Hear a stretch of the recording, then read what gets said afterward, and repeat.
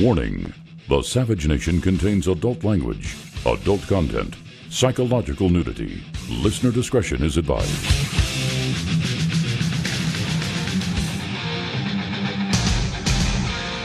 And now, America's most exciting radio talk show, The Savage Nation. Talk radio for the thinking person, home of borders, language, culture. And here he is, Michael Savage.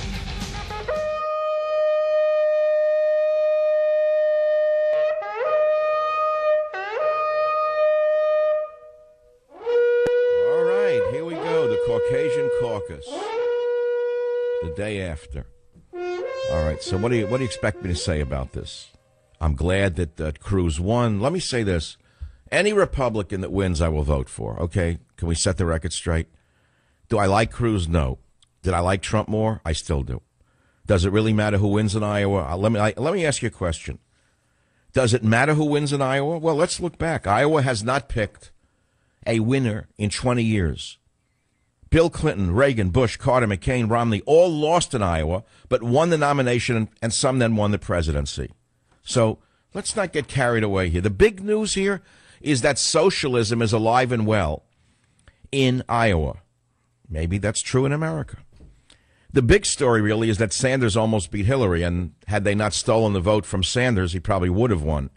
Had Google not thrown it for Hillary, Sanders probably would have won, which is truly the biggest story of the day. But as you well know, the media won't ever talk about that, and the only thing they're going to talk about is Trump's a loser, Trump's a loser, Trump's a loser. All of the jealous ones are saying Trump's a loser. Let's wait and see what happens in New Hampshire and onward. The big story here is that a socialist nearly won in Iowa. And I think you should stop obsessing about Donald Trump and uh, Celia Cruz.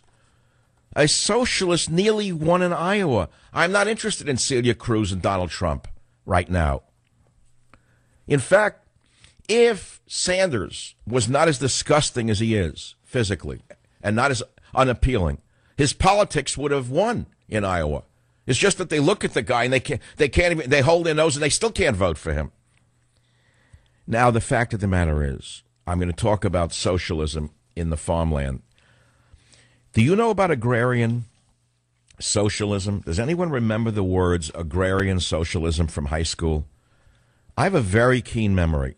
And I remember reading about agrarian socialism in the Oklahoma uh, uh, countryside way back when, then in the Iowa countryside. There's always been a strong agrarian socialist movement in the farmlands. Did you know that? Now, what does it have to do with Iowa? Well, it has a lot to do with it.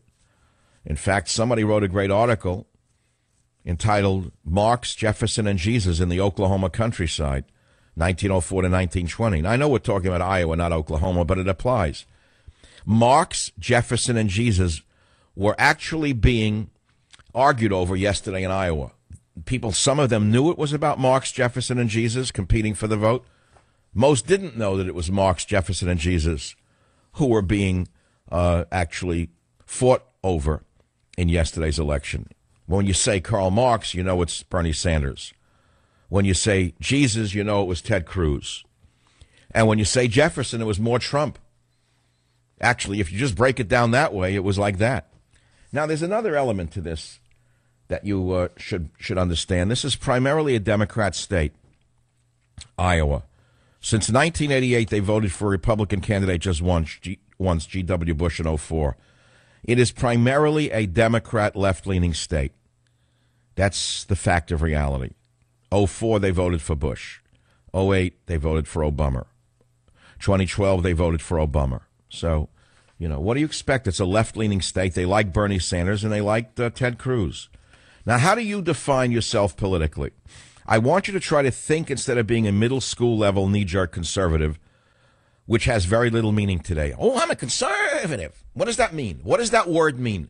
Now you immediately say Constitution. Fine. We got that already. How many years do I have to hear the same word till we all get it? What are you, the only one who read the Constitution? I read it in the fifth grade. We understand it. Stop beating us up about it already. Everyone trusts the Constitution who is a conservative or a Republican. But you need to go beyond that. Try to think instead of being a middle school level knee jerk conservative. We've heard the words knee jerk liberal, knee jerk liberal, and you laugh at them. But what is a knee jerk conservative? Probably most of talk radio's listeners define themselves as so. How do you define yourself politically? Are you a values voter, a party activist, a feminist? Are you politically correct, a libertarian? Are you disaffected, gun, gun enthusiast? Uh, would you say you're a cynic, a centrist, an isolationist? How about this? Would you be, in your mind, a capitalist, a socialist? Would you say you're devoutly religious? Would you say you're neoconservative? Would you say you're an optimist? Would you say you're a true believer? Would you say you're an anti Wall Streeter? Would you say you're politically incorrect? Think about what I just said to you. These are words that are not used in talk radio today.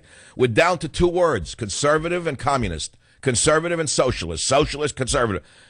I can't do it. So let's try to open up the conversation to something a, li- a little broader. A lot of other things out there to talk about other than two words. And I think the most interesting to me is the agrarian socialist strain in Iowa.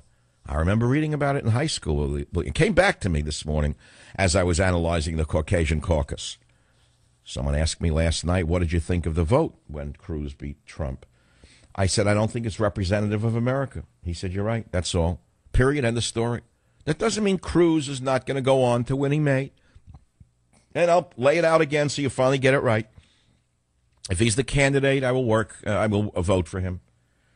I think he's a terrible choice to be the candidate for one reason, because he's a maniac when it comes to attacking Putin. He's a thousand percent wrong on hating Putin.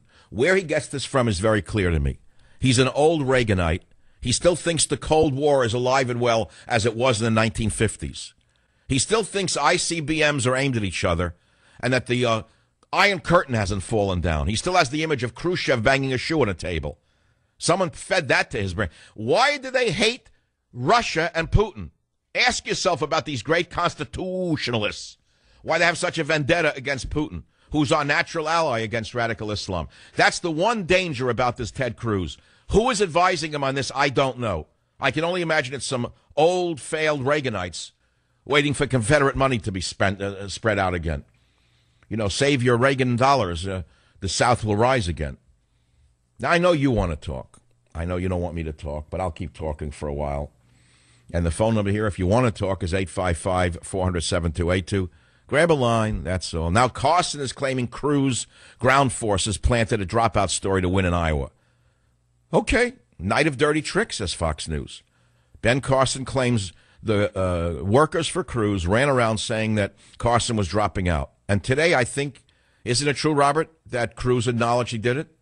He said he had no really didn't know what was going on. His people did it without his right. So a lot of those people voted for him. Now here's something you don't want to hear, but as an expert in statistics, I have to say something that's a little worrisome. By the way, now you know the Cruz won in the Republican primaries, and that Donald came in second, and that Rubio came in third. We all know that. But no one's reading the statistics right. As someone who is trained to read data correctly in my epidemiological statistical analysis, I had to read data every which way to Sunday, up, down, sideways, forwards, backwards, to study disease patterns. And here's how I analyze it. Tell me if you agree with me because you're not going to want to hear it, but you'll hear it first in the Savage Nation and perhaps uh, you'll learn something from it. Okay, so we know who won we about eight thousand people voted more than voted for uh, for Cruz than voted for Trump. But if I remember correctly, and I don't have the numbers in front of me, twenty three thousand voted for uh, Rubio. What would have happened if it was a two way race? If it was only Trump versus Cruz, Cruz would have won three to, two to three to one. Do you know that? Do you do you understand what I just said to you? The real story here is that Donald was very weak in uh, in Iowa, very much weaker than you may think. You could say, well, you know, Rubio split the vote, and if it wasn't for Rubio, Trump would have surged. I don't think so. I think if Rubio wasn't in there, uh, Cruz would have gotten most of those votes from Rubio. That's my opinion. And and that's very worrisome for those of you who think this is going to play out the same way in other states, but it's not going to play out the same way in other states. Uh, Iowa is as a, is an anomaly. It's known as an outlying a statistic. It's not America. So you can keep focusing on it all you want. And for those of you who love one candidate over another, you can make more of it than you want. And those of you who lost, you can make less of it if you want. And, and both positions are not invalid, but one is more valid than other than the other.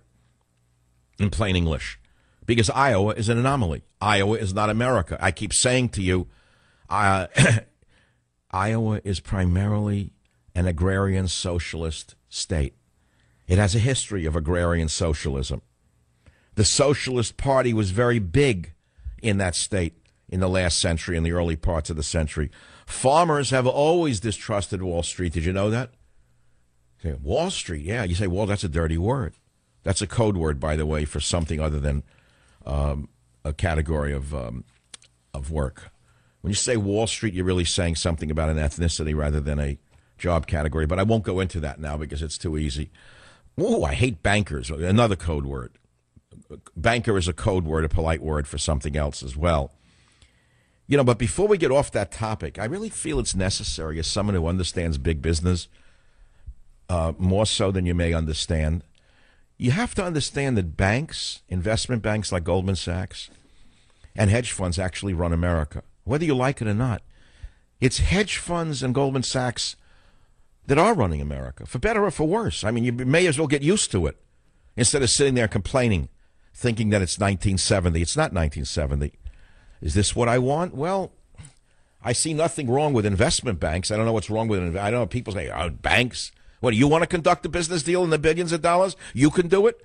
You're smart enough to do it? You're not smart enough to do it. These people are geniuses in the investment bank world. Don't underestimate them.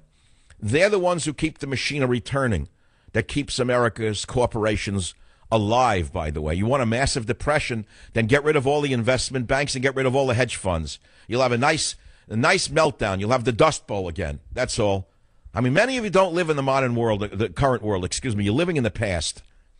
You have to live with what is. Now, in my old book, Trickle Up Poverty, I talked about what's wrong with some of the activities of some of these institutions, and I don't want to repeat it and sound academic and redundant. But in in the Trickle Up Poverty, which was a runaway bestseller, way ahead of its time, often quoted, I talked about banks, believe it or not. And I, ta- I have to find the exact statement so I'm not misquoting my, myself. And I believe it was here about the uptick rule. And I can't really put my fingers on it. Here it is reinstate the Wall Street uptick rule. And I talk about what that means short selling, the uptick rule, which was eliminated by the SEC under uh, Bush, I believe. Yeah, oh, yeah, Bush did that one. There was another one that was very important. Glass Steagall, I was the first to talk about in that book. I know many people talk about it today, but the Glass Steagall Act was eliminated, I believe, under Bill Clinton by the fly fishermen who he handpicked and put into the Treasury Department to eliminate uh, the uh, Glass Steagall Act so they can basically uh, take risks without taking risks. So, you know, in terms of wild speculation, there needs to be some kind of constraint imposed but let's not throw the entire institution out the window, is what I'm saying to you. You can say what you want. Banks are this, banks are that, and uh, you know, hedge funds are that. They're here to stay. There needs to be some constraints rather than destruction of these institutions. And secondly, no matter what you think, it's not, they're not going to be eliminated just because you don't like it. They're going to listen to you? Who do you think picks the candidates? Who do you think picked Rubio, this unknown nobody, to even run? the dark horse who's probably going to be elected because he's wanted by the establishment. Who is the establishment? The hedge funds and the investment banks. Back in a minute.